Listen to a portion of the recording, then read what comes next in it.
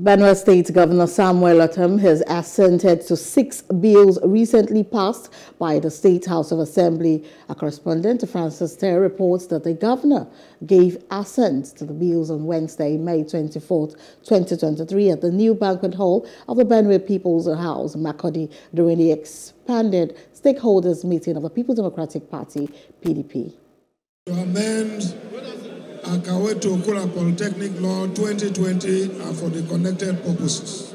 A law to provide for the retirement age of teachers in Benue State and for the related matters. A law to amend the Benue State Polytechnic Law 2021 and uh, for the connected purposes. A law to amend the College of Education, OJU, Law 2021 and for the connected purposes. A law to amend the College of Education, Katsina Alam, Law 2021 and for the connected purposes. A law to amend the Akpera and Oshi Polytechnic Law 2020 and for the connected purpose. Just as your government believes that, so assembly is vehemently in that same manner, in that same support.